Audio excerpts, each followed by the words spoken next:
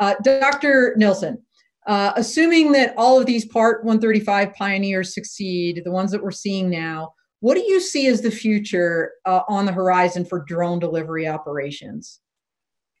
This is a topic, Dawn, near and dear to me because I have been in my past, with not disclosing my age, many moons ago, a drone, I'm sorry, a uh, manned Part 135 pilot. I, wor- I worked for an air cargo operation. So I, I concur with everything everyone said, especially Mary Caitlin. Um, you have to have a robust system in place for Part 135. That being said, we've got pioneers doing it, and that's just amazing how far we've come. Um, I do believe that retail logistics networks will change. Um, if companies move toward the drone delivery system, I think the number of last mile warehouses would likely increase in the future to ensure a faster delivery time. And last mile delivery, meaning transportation from local warehouses to the customer, would be more cost efficient with drones. And drones can travel over congested areas along a straight path, so it reduces the time. And also reach rural areas where perhaps the roads are uh, few or unimproved.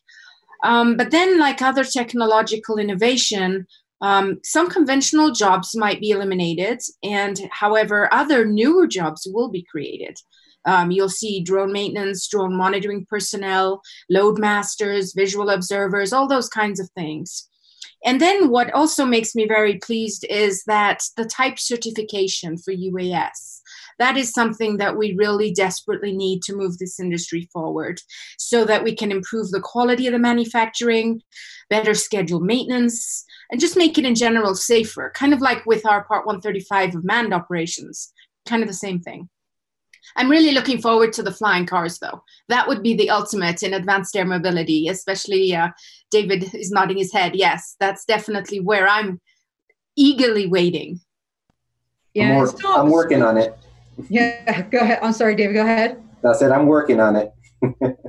so much to be done and definitely so much to talk about when you think about as you just said advanced air mobility and how that's so intertwined with urban traffic management or unmanned traffic management.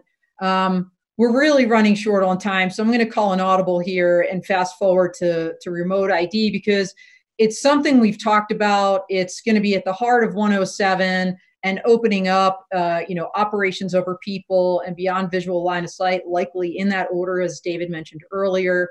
So let's take a couple minutes here uh, in the home stretch to talk about RID even though we're eagerly awaiting the final rule to come out, hopefully at the end of this year.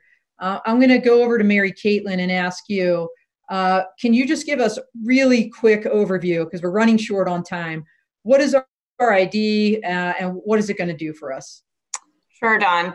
Remote ID is the concept of a system that identifies drones that are operating in the national airspace system, similar to an electronic license plate. Um, now, this is not a novel, con- a novel concept in the transportation space because we already identify many other kinds of vehicles, license plates for cars and numbers for aircraft, etc. What is novel about RID is that the operator of a drone and a vehicle are not co-located, hence the remote aspect. So the draft rule or the NPRM um, described three waves of remotely identifying drones: standard remote ID, limited remote ID, um, or operating within an FAA recognized identification area, also known as a FRIA. Love our acronyms. Uh, limited remote ID would require the UAS to remain within visual line of sight um, at 400 feet of the operator. So, no beyond visual line of sight operations under limited remote ID. If you want to fly more than 400 feet away from the operator, you're going to need to use a standard remote ID UAS.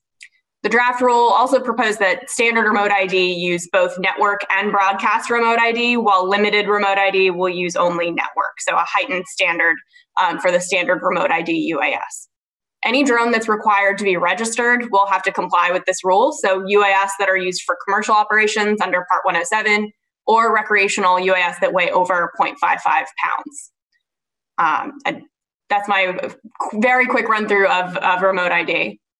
Yeah, I mean, there's so many nuances, and and you know, for those that had the pleasure of reading uh, the the the draft rule, the initial uh, initial draft was like 316 pages of goodness, and and so am my understanding right, Ryan and David? There was about 53,000 comments that came in uh, in March when by March when that rule uh, comment period closed out. That's a lot. I feel like just in my experience, that's probably the most that I've seen in the commercial drone arena, at least to date. So my question is this: I mean, COVID happened after that. Uh, you know, is the FAA really on track to release that rule, the final rule, by the end of this year? Ryan or David, over to you.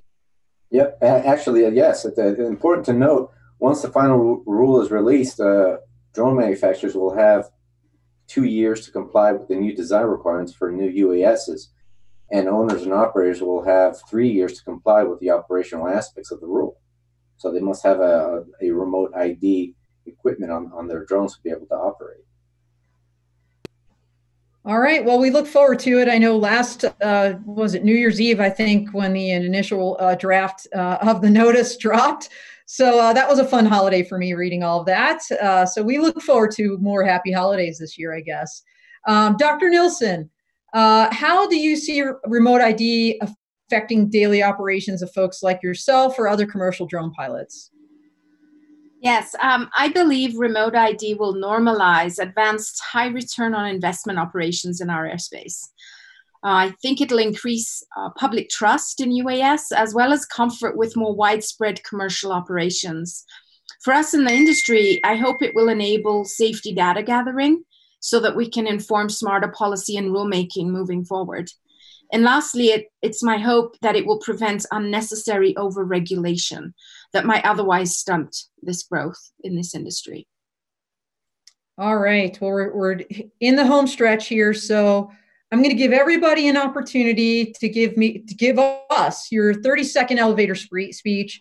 A lot lots remains to be seen, right, in the regulatory commercial arena for drones. What what are your if you have 30 seconds to tell the audience something important that you want them to take away? What is that? Let's go to you first, Ryan. I would say uh, the, the quick and dirty uh, check the FAA website, check your resources, do your homework, and call. Call the FAA. Call call us. Call me if you have to, uh, and and we can give you the information. Don't assume anything. Go and do the research. Do your homework. All right, David. Uh, we have a game changer here for Part 135 UAS certifications. There's a new rule that just recently came out. Uh, type certification of certain unmanned aircraft systems.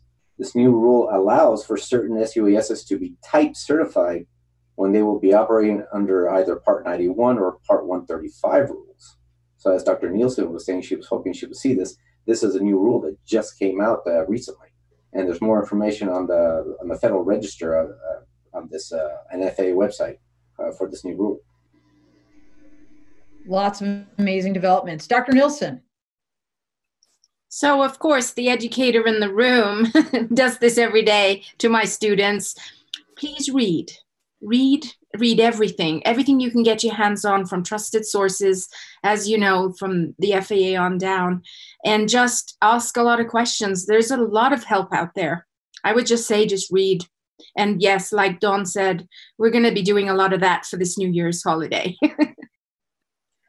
All right. And last but not least, again, Mary Caitlin stay engaged in the industry and cast a wide net when you're building your teams, right? A, sex, a successful operation needs a team. You need the operator, you need an aircraft, and you need technical and legal advisors. And you can't forget the importance of the role of the FAA in all of this as well. So you need to cultivate those relationships. Um, as everyone said, we're heading into a year with a lot of a lot on the horizon for drones in the regulatory space. So be sure to stay engaged with um, with thought leaders and with legal counsel who are knowledgeable in this area, so that you can stay up to date on the latest developments. Um, one great way to do that is to just click subscribe, subscribe to mailing lists, um, subscribe to the mailing list of a law firm that does work in this area. Um, you can do that on my firm's website, for example, and that way that you know all the relevant client alerts and newsletters come right to your inbox as soon as they're published.